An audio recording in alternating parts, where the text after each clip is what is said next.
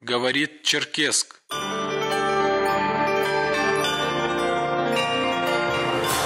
В эфире Вести, радио Карачаево-Черкесия.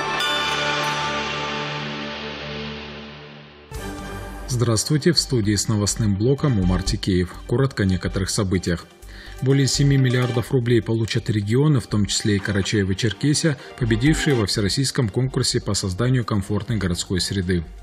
Вопрос обеспечения бесплатным горячим питанием в школах республики, а также строительство автоматизированного программного комплекса «Безопасный город» обсудили в правительстве республики. Регион присоединился к акции «Тепло для героя», в рамках которой в республике проходит сбор теплых и вязаных вещей для военнослужащих. И магистрант КЧГУ Марат Айбазов вошел в топ-50 амбассадоров страны. Далее об этих и других темах подробнее. Военнослужащие из Карачаева-Черкесии торжественно возвращаются домой. Руководитель региона Рашид Тимрезов провел видеоконференцию с президентом России Владимиром Путиным по поводу ротации военнослужащих из Карачаева-Черкесии в связи с выполнением боевых задач. В формате видеоконференции с Владимиром Владимировичем обсудили вопрос ротации военнослужащих для доукомплектации заслуженного отпуска. Наши ребята все это время с честью и доблестью отстаивают будущее России и ее жителей. Теперь пора им передохнуть прокомментировал глава республики. Руководитель региона утвердил сводный план тушения лесных пожаров в республике. Документ устанавливает перечень и состав лесопожарных формирований, пожарной техники и оборудования, противопожарного снаряжения и инвентаря на территории республики, а также перечень сил и средств подразделений пожарной охраны и аварийно-спасательных формирований, которые могут быть привлечены к тушению лесных пожаров. Подготовка к пожароопасному периоду начинается задолго до календарной весны. Контроль ведется в разрезе каждого муниципального образования. Карачаево-Черкесия вошла в перечень пилотных регионов новой всероссийской программы, которая призвана создать в стране настоящую экосистему по развитию молодежного предпринимательства. Участие в программе – это реальная возможность найти бизнес-партнеров и наставников, развить свое дело и интегрировать его в массы, объединиться с существующими федеральными и региональными бизнес-сообществами. Программа благоприятно повлияет на повышение компетенции и расширение возможностей для молодежи Карачаева-Черкесии сессии. Кроме того, ее участники получат доступ к образовательной платформе. Комментирует информацию министр по делам молодежи Ибрагим Татаркулов. Следует обратить внимание на то, что та заявка, комплект документов, который был направлен для участия в конкурсе по определению пилотных регионов по реализации Всероссийской программы развития молодежного предпринимательства, программы и проекта Федерального агентства по делам молодежи была признана одной из лучших.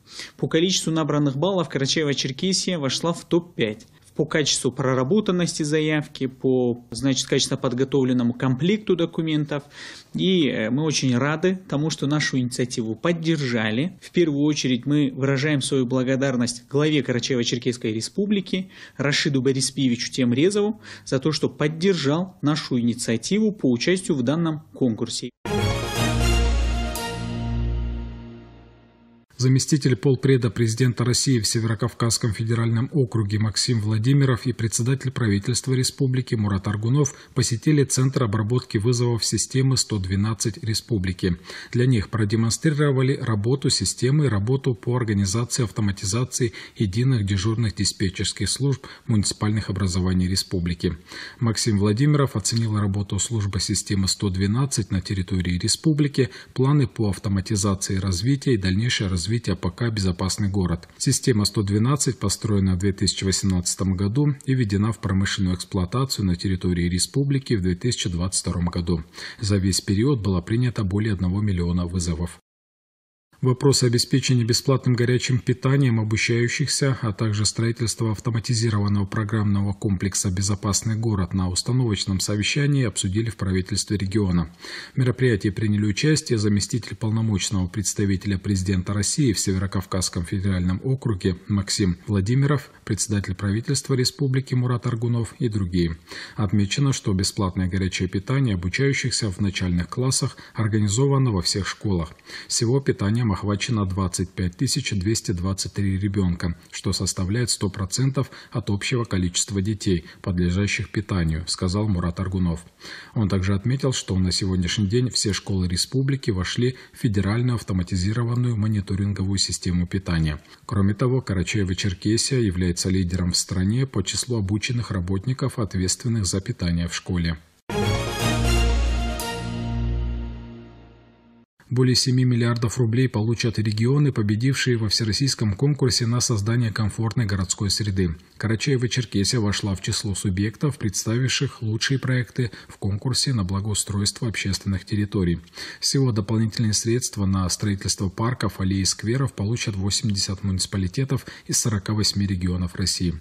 В 2023 году в республике начнется благоустройство парков в поселке Медногорском и Уздюгуте, а в региональной столице преобразится преобразятся сразу две общественные территории – каскадная лестница в парке культуры и отдыха «Зеленый остров» и аллея пограничников на улице Даватора. 77 тысяч человек обслуживает сегодня Черкесская городская поликлиника. Нагрузка серьезная, отсюда очереди в коридорах и проблемы с попаданием к врачу в назначенное время.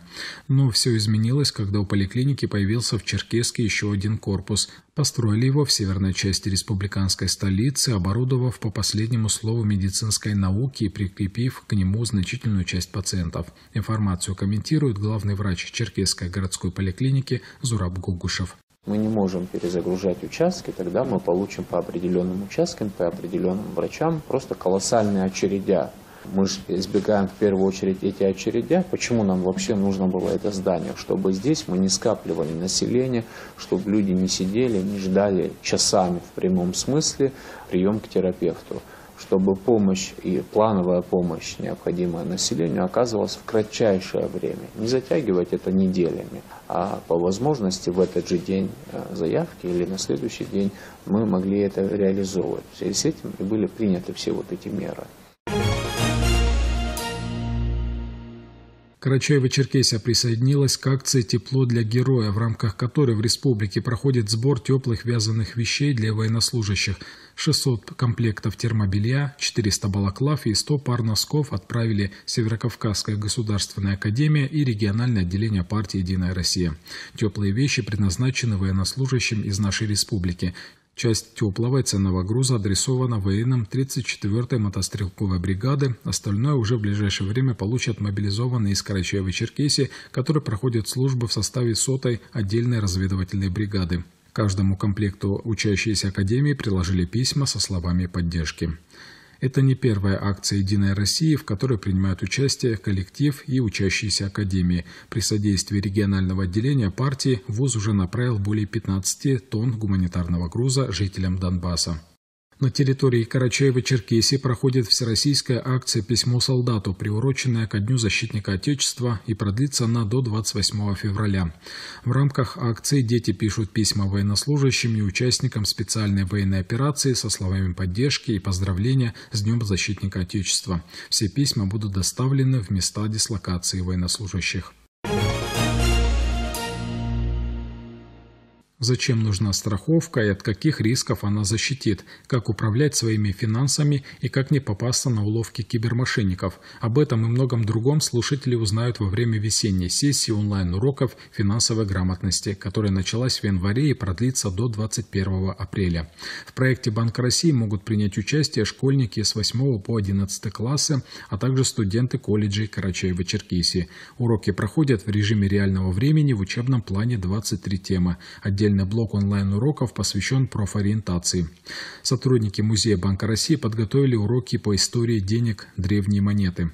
Школьникам расскажут, как появились первые копейки, об исторических денежных реформах и их деятелях. Эксперты научат также расшифровывать чеканные рельефы на старинных монетах.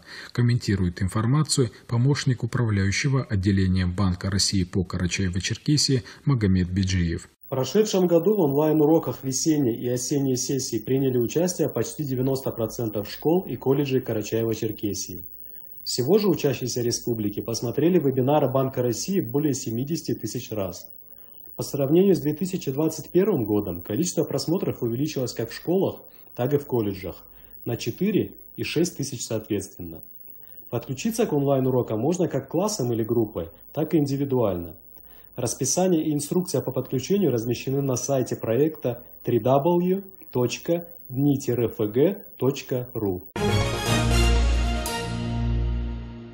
Всероссийский студенческий проект «Твой ход» запустил специальный марафон для амбассадоров. Амбассадоры – это лидеры студенческих сообществ, молодые ученые, лучшие представители творческой и спортивной молодежи со всей страны. Они прошли тщательный отбор и большую подготовку. Магистрант Карачаево-Черкесского государственного университета имени Умара Алиева Марат Айбазов вошел в топ-50 амбассадоров конкурса. Сейчас Марат занимается деятельностью по привлечению новых участников. В эти дни в выставочном павильоне Карачаева-Черкесского историко-культурного и природного музея-заповедника проходит выставка «Уникальное культурное наследие народов Карачаева-Черкесии». Выставка знакомит с основными занятиями, образом жизни и традициями народов республики. Каждый из этих экспонатов демонстрирует искусство местных мастеров, тонкий вкус носителей культуры, формируя поистине сокровищницу, благодаря которой мы можем сегодня познакомиться с богатым культурным наследием этих народов, отметила старший научный сотрудник сектора современной истории музея-заповедника Ольга Холодова. Для посетителей представлены этнографические материалы, рассказывающие о духовной и материальной культуре субъектообразующих народов нашей республики. Это предметы быта, изготовленные из дерева, керамики и металла, вышитые платки, ювелирные украшения, такие как нагрудники, пояса. Все это дополнено этнографическими фотографиями конца XIX – начала XX века фотохудожника Дмитрия Ивановича Ермакова. Преддверии посевной кампании 2023 года Северокавказское межрегиональное управление Россельхознадзора напоминает сельхозпредприятиям Карачаева-Черкесии о требованиях законодательства в области земельного надзора и безопасного обращения с пестицидами и агрохимикатами, комментирует информацию государственный инспектор управления Роман Седых. В соседнем с республикой Ставропольском крае фиксируются случаи массовой гибели диких животных на полях. Установлена прямая связь э, гибели животных с размещением приманочного материала для мышевидных грызунов. Фермеры размещали протравленные зерна на поверхности участков, что привело к экологической катастрофе. Приманочный материал необходимо размещать непосредственно в норы грызунов. Это исключает его поедание нецелевыми видами животных. Также управление Россельхознадзора обращает внимание, что к применению допустимы только те пестициды, которые входят в утвержденный Министерством сельского хозяйства государственный каталог пестицидов и агрохимикатов. В Черкеске состоялись республиканские лично-командные соревнования по стрельбе из пневматического оружия «Юный Ворошиловский стрелок» на Кубок атамана Баталпашинского отдельского казачьего общества. В состязаниях принимали участие 12 команд в общей сложности 60 человек. Для ребят провели лекцию по указанию первой медицинской скорой помощи, затем состоялся любительский турнир по шахматам. Участники соревнований также написали поздравительные письма защитникам Отечества. Радио России. Карачаево-Черкесия. Погода. По сообщению синоптиков, сегодня по Карачаево-Черкесии ожидается облачная погода, снег, местами сильный снег. Ветер западный 6-11 метров в секунду. Температура воздуха от 0 до минус 5, в горах местами до минус 11. На дорогах гололед, местами снежные заносы. В горах Карачаево-Черкесии лавина опасна. В Черкеске днем умеренный снег, ветер западный 6-11 метров в секунду. Утром на дорогах гололед, снежные заносы, а столбик термометра опустится до 3 градусов.